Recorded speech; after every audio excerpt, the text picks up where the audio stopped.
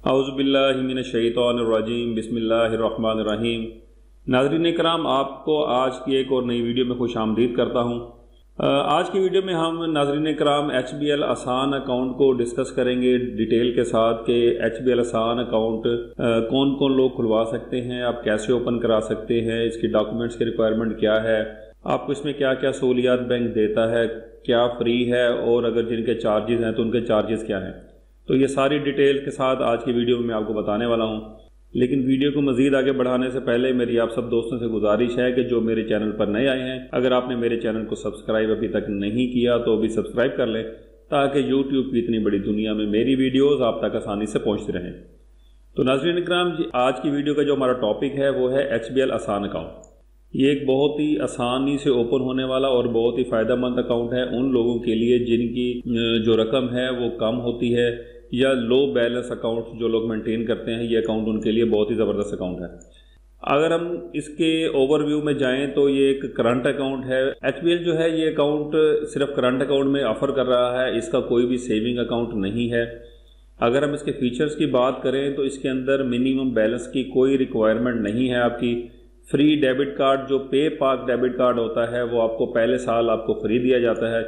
जबकि अगले साल से, यानी कि दूसरे साल से जो इसके चार्जेस हैं, वो शेड्यूल ऑफ़ बैंक चार्जेस के मुताबिक आपसे काटे जाएँगे।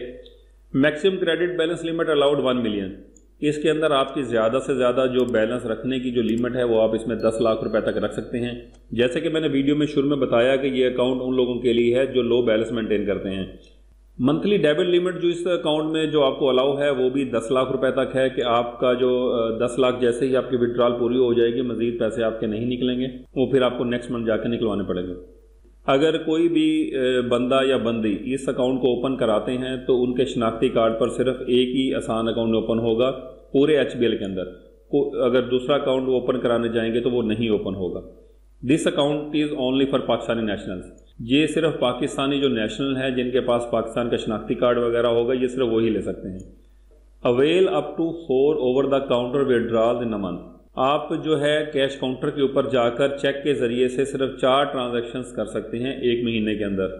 For more transaction charges applicable as per the prevailing schedule of charges लेकिन अगर आपका पांचवा चेक काउंटर पर पेश होगा तो उसके बैंक आपसे चार्जेस काटेगा, जो कि बैंक के शेड्यूल ऑफ़ चार्जेस के मुताबिक होंगे। ठीक हो गया। इसके अलावा जो आप एटीएम से जितनी चाहे ट्रांजेक्शन कर लें, उसके आपसे कोई चार्जेस नहीं लिए जाएँगे। आप इस अकाउंट को ओपन कैसे करा सकते हैं? इस अकाउंट को ओपन कराने के लिए जो है जी, आपका शनाख्ती कार्ड स्मार्ट शनाख्ती कार्ड सीएनआईसी या एसएनआईसी या national identity card overseas Pakistani जो नाइकोप जिसको कहते हैं, अगर वो आपके पास है, और पाकिस्तान ओरिजिन कार्ड पीओसी अगर इन तीनों में से कोई एक भी डॉक्यूमेंट आपके पास है तो आप ये अकाउंट ओपन करा सकते हैं। अच्छा इंडिविजुअल कस्टमर्स जो है, इसको ओपन कराने के लिए आइडेंटिटी डॉक्यूमेंट ये जो ऊपर आपको बता दिए, इन तीनों में से कोई एक चीज़ आपके पास हो। और इसके बाद any other supporting document as per existing bank policy bank policy जो HBL की है, उसके मुताबिक कोई भी और डॉक्यूमेंट एच मोस्टली बिजली या गैस या टेलीफोन का बिल लेते हैं कि आपका शनाख्ती कार्ड और उसके साथ एक यूटिलिटी बिल कोई भी हो आपके घर का तो वो इसके साथ लेते हैं और आपका अकाउंट ओपन कर सकते हैं।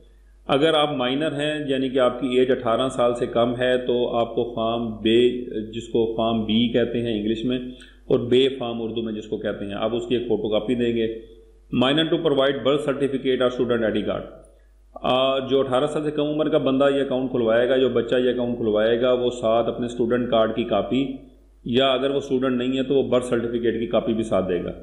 Guardian to provide photo copy of any of as identity document as provided अब और साथ उसके गार्डियन होगा, जो आसान अकाउंट ओपन करेगा गार्डियन साइन बेसिकली गार्डियन ही करेगा अकाउंट अपने फॉर्म के ऊपर, लेकिन वो माइनर के नाम से ओपन होगा।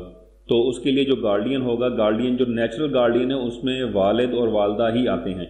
इन दोनों में से जो भी बच्चे के साथ जाएगा, वो फॉर्म साइन करेंगे और अपना शनाख्ती कार्ड भी प्रोवाइड करेंगे। तो बच्चे के नाम से अकाउंट ओपन हो जाएगा।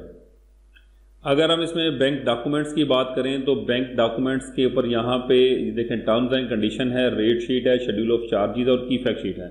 तो यहाँ पर आप क्लिक कर कर टर्म्स एंड कंडीशन भी देख सकते हैं रेट शीट का भी जायज़ा ले सकते हैं एच की शेड्यूल ऑफ़ चार्जेस भी देख सकते हैं, और जो की फैक्ट शीट है इस अकाउंट की वो भी आप देख सकते हैं। मज़ीद अगर आगे हम देखें तो इसमें कुछ एफ़ हैं, जो कि नॉर्मल कस्टमर के माइंड में फ़ौरन आते हैं। Who can open this account यानी कि इस आसान अकाउंट को कौन कौन ओपन करा सकता है? H B L Asaan account can be open by new to bank customer हर वो बंदा ये अकाउंट ओपन करा सकता है जिसका एच बी एल में अकाउंट नहीं होगा। अगर ऑलरेडी आप एच बी एल के अकाउंट होल्डर हैं तो आप ये आसान अकाउंट ओपन नहीं कर सकते। ये सिर्फ़ उन लोगों के लिए है जो पहली दफ़ा बैंक में अकाउंट ओपन कराने आएँगे। और वो पाकिस्तान के नेशनल हों रेजिडेंट हों। दूसरा सवाल जो आता है, वो है कि इस अकाउंट में फीचर्स क्या क्या मिलेंगे? Only new to bank individual नए बंदों के लिए ये एच का अकाउंट है, जैसे कि अभी बता दिया मैंने डिटेल के साथ। Outward remittances is restricted on Asaan account जो आउटवर्ड रिमिटेंसेज हैं, जो रिमिटेंस आप भेजने वाली होती हैं, वो आसान अकाउंट के ऊपर रेस्ट्रिक्टेड है, वो आप नहीं कर सकते.